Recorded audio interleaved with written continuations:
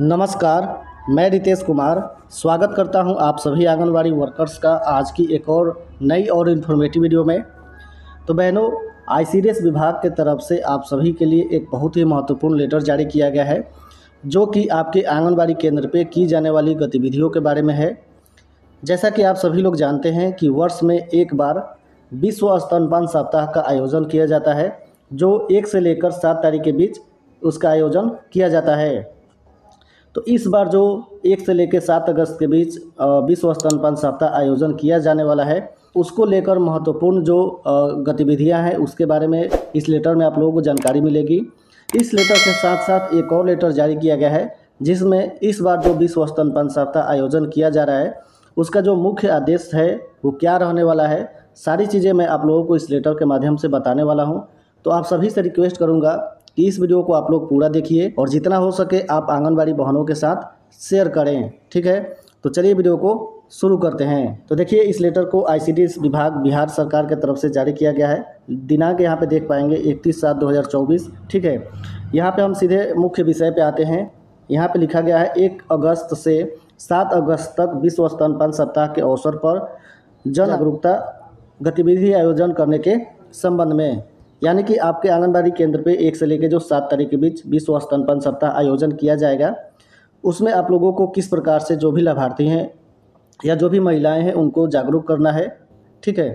देखिए, लिखा गया है, महाशय आप अवगत हैं कि दिनांक एक से सात अगस्त 2024 तक विश्व स्तनपान सप्ताह के अवसर पर विभिन्न कार्यक्रम गतिविधि के माध्यम से स्तनपान के प्रति जागरूकता अभियान चलाया जाता है। विश्व स्तनपान सप्ताह 2024 का विषय है। यानी कि इस बार जो इसका विषय रहने वाला है, यहाँ पे आप लोग ध्यान दीजिएगा।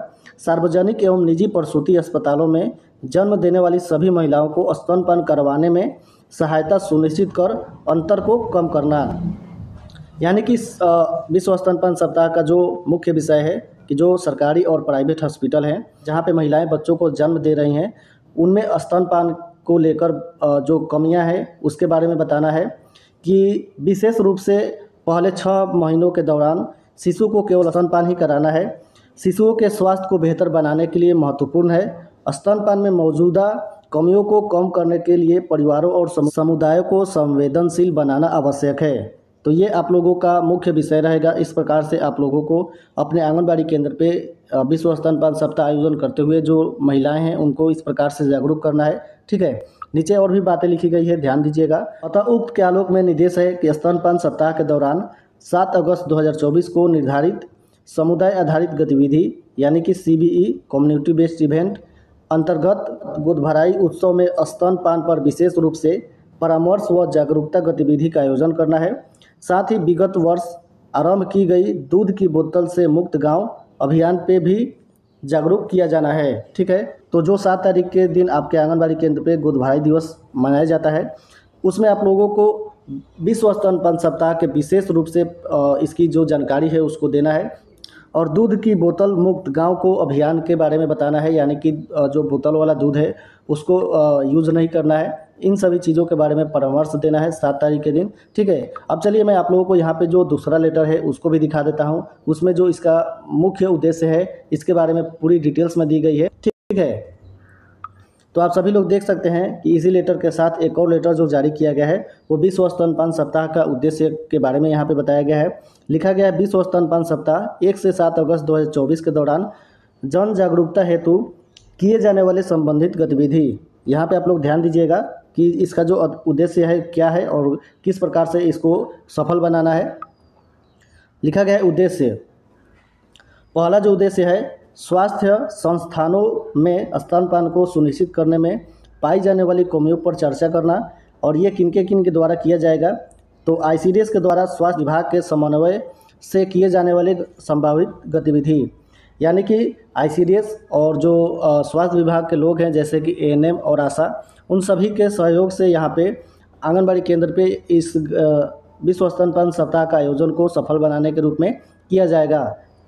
लिखा गया है, आंगनबाड़ी केंद्र पर नियमित समुदाय आधारित गतिविधि, जैसा कि आप सभी लोग जानते हैं, इसको गोद भराई कहते हैं, के दौरान गर्भवती महिलाओं और स्तनपान कराने वाली महिलाओं द्वारा स्तनपान के दौरान अनुभव की जाने वाली समस्याओं एवं उनके समाधान पर चर्चा में स्वास्थ्य कार्यकर्ता जैसे कि एएनएम और आशा की भागीदारी भी रहेगी। ठीक है यहाँ पे जो दूसरा उद्देश्य है स्तनपान की कमियों के निदान के लिए परामर्श सामग्री का प्रयोग करना, समुदाय आधारित गतिविधि दूधभराई के दौरान गर्भवती महिलाओं और स्तनपान कराने वाली माताओं को निम्नलिखित परामर्श सामग्री का प्रयोग नीचे दिए गए क्यूआर कोड को स्कैन करके प्राप्त कर सकते हैं। यानी कि यहाँ पे आप लोगों को एक क्यूआर कोड दिया गया है, जिससे कि जो स्तनपान कराने वाली महिलाओं को क्या परामर्श देना है, इसकी सामग्री क्या है, उसके बारे में यहाँ पे आप लोग इसको स्कैन करके लाभार्थियों को जानकारी दे सकते हैं, ठीक है? नीचे यहाँ पे है तीसरा उद्देश्य स्तनपान संबंधित विचारों को सूचीबद्ध करना और उन लोगों के बीच साझा करना जिन्हें इनकी आवश्यकता है। अस्पताल, स्वास्थ्य सेवा प्रदाता नीति निर्माता। यहाँ पे स्तनपान को बढ़ावा देने की सफलता की कहानियों को राज्य स्तर पर साझा किया जाना है। स्तनपान को बढ़ावा देने के लिए जिला स्तर पर संबंधित कार्यक्रम आयोजित किए जा सकते हैं, जैसे सेमिनार, वेबिनार, रैली, समुदाय, रेडियो सत्र, स्थानीय टीवी सत्र, दीवार लेखन, पंचायत बैठक का आयोजन, स्वयं सहायता समूह बैठक आदि। इस प्रकार से जो स्तनपान को बढ़ावा देने के लिए जो जागरूकता है, इस प्रकार से भी किया जा सकता है। और यहाँ पर आप लोग देख पाएँगे, जिला प्रोग्राम पदाधिकारी, बाल विकास परियोजना पदाधिकारी, महिला पर्यवेक्षिका के साथ मिलकर बड़े पैमाने पर लाभार्थियों को, समुदाय को सहायता प्रदान कर सकते हैं। यानी कि कुल मिला के आपके आंगनबाड़ी केंद्र पे जो एक से लेकर सात तारीख के बीच जो ये विश्व स्तनपान सप्ताह आयोजन किया जाना है, जिसमें कि गर्भवती महिला और स्तनपान कराने वाली जो माताएँ हैं, उनको स्तनपान से जुड़ी जो जानकारियाँ हैं वो देनी है। नीचे यहाँ पे देख सकते हैं प्रतिवेदन एवं अच्छे फोटोग्राफ निदेशालय के साथ साझा किया जाना है। यानी कि जो गतिविधि होगी, आप लोग अपने मोबाइल से फ़ोटो खींच के आप उसको शेयर कर सकते हैं। तो उम्मीद है आप लोगों को आज की ये वीडियो पसंद आई होगी। अगर वीडियो पसंद आई हो तो लाइक करके शेयर कर दीजिएगा। यदि आप चैनल को सब्सक्राइब नहीं किए हैं तो चैनल को भी सब्सक्राइब कर लीजिएगा। मिलते हैं फिर किसी नए टॉपिक नई जानकारी के साथ। तब तक के लिए आप सभी का इस वीडियो में बने रहने के लिए बहुत बहुत धन्यवाद। जय हिंद।